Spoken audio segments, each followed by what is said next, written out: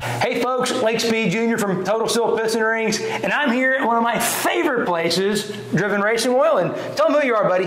David Chamberlain with Driven Racing Oil. All right, so David and I have worked together for several years before I came uh, to Total Seal, even. Yep. And one of the interesting connections between Driven and Total Seal is this product right here, Yep. Assembly Lube, because you know. Assembly lube sometimes are like the redheaded stepchild of the lubricant industry.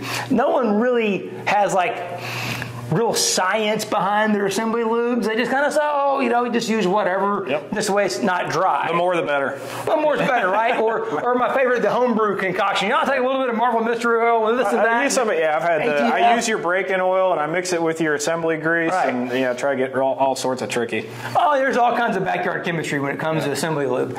But you know, to try to reduce the amount of variables, uh, especially when it comes to piston rings and, and ring break-in, you, you need that break-in to go well. But there's something that happens before a break-in that people kind of overlook, and that is the actual assembly process. When you're putting that engine together, you didn't put in all eight piston rings all at the same time. You didn't put all 16 rocker arms all at the same time. Right. You did them in sequence. Yep. So the engine is actually turning over.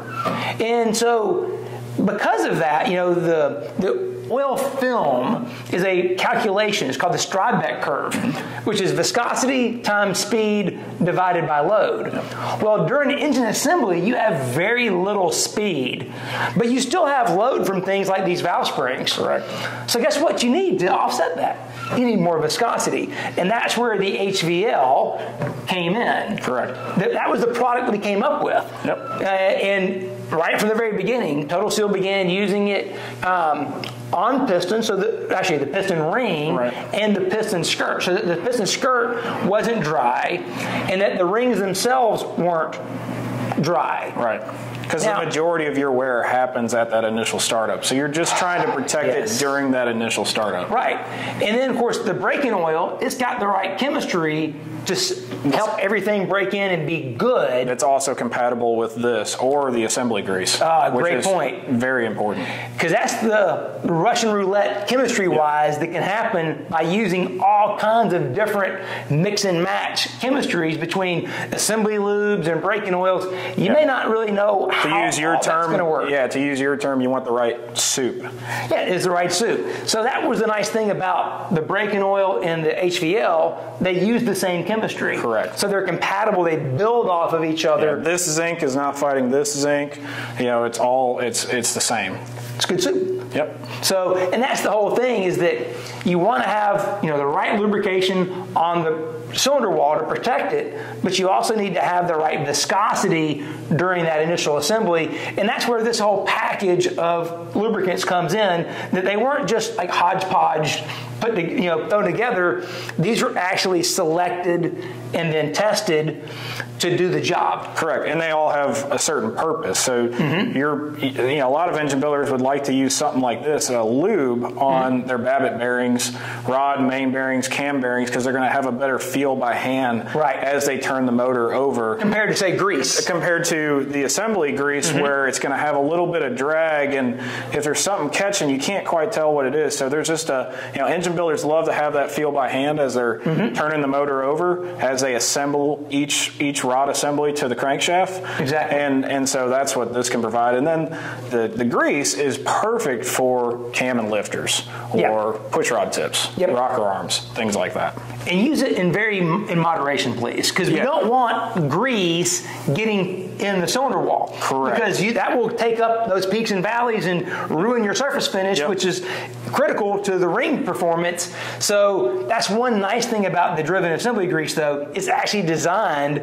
to dissolve in the break-in oil. Correct. So it doesn't leave chunks of grease floating all around, which again can get in your cylinder wall and cause ring seal problems that you don't want. Because that's the beauty of the driven product line. Uh, and I know I'm a homer on this because I used to work here for a long time. I could step out and he's, he's, he's got this. Yeah. But the, but the thing about it is that we always thought about everything as a system. Yep. That it wasn't just a product in isolation. It's how do all the products work together so that you have that relay race essentially. Right, right. You can hand off from assembly grease to HVL to break-in oil to the running oil. That Everything is designed to work in sequence. And again, it's not like we have one assembly lube. We have multiple assembly lubes that are purpose built for certain certain components. Just like our engine oils, they're specific they're specific for certain applications. Assembly lubes we're going at it at the same approach. Yeah, same. Application specific chemistry. You know, I remember somebody saying application always dictates, Dictates chemistry. chemistry, yep. Yeah, I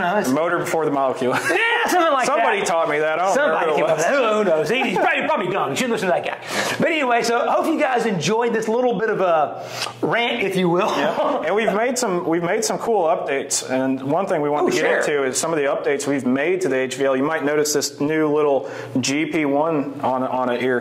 We've updated it with the Pennsylvania grade base oil. So unlike other assembly lubes that are using a fire Right, to make get to get that nice sticky uh, cling and and, Keep and talking. tacky, yeah, uh, we're actually doing that with the You probably base can't oil. see this from over here, but there's a get some- yeah, get some- all the way in between, just like that. Yep. I mean, it is tacky. And before we had to add tackifier. we would add tackifier to it, which is is kind. It's not really a natural approach to it. By using the base oil, you now have an assembly lube that has that tack and has that cling. Mm-hmm. It's going to stay put, just like our gel when we came out with the gel. Yes. It's going to stay put. Uh, it's not going to have too much drag. But the best thing about it is, the, by doing it with the base oil, is it's very shear stable. Right. It's So going to be gonna- what it's always going to be. It's never going to change. So it's going to definitely help with that initial protection. You can, you can feel it. I mean, I know this doesn't sound very scientific, but you can literally. Oh, engine builders always, yeah, that's what they there- do. the first thing they right do, they that's like- grab it and they're they're doing this. Uh, there, you can feel it. It's like, man, there's substance Yep. in here. Yep. It's not just chemistry of like tackifier, which will make it stringy, but doesn't add any bulk to it, add any viscosity. This, you can feel that viscosity. So you know that it's going to give you the protection that you need. So let's say you've got a high compression engine you're putting together, and as you roll that thing over, now you know those parts, those skirts, the bearings, everything in there is going to be protected properly Yep. during that most critical time. Because as we've seen from all the testing, from you know, cam wear testing, the grease testing, all that, the majority of that valve train wear is going to occur in the first two minutes. Correct. We know that the Pennsylvania grade crude has some unique properties, and it's kind of cool to see this being incorporated in to the HVL. Yep. Get a nice little upgrade, always making things better here at Driven. Yep, same technology from the GP1 oils incorporated in the assembly lube. I like it. That's that driven to win uh, philosophy here in this company, which gotta love it. So, you know, hope you guys enjoyed this little tirade now uh, on assembly lubes and why it's so important not to just grab whatever so that it's lubricated. Use the right oil in the right system in order to get those uh, right benefits from it. Because hey, if you do it right, you're going to get longer engine life and better engine performance. And I mean, if you go through all the trouble putting an engine together, you kind of want to get the best out of it. Correct. So, hope you enjoyed the video. Thanks for watching.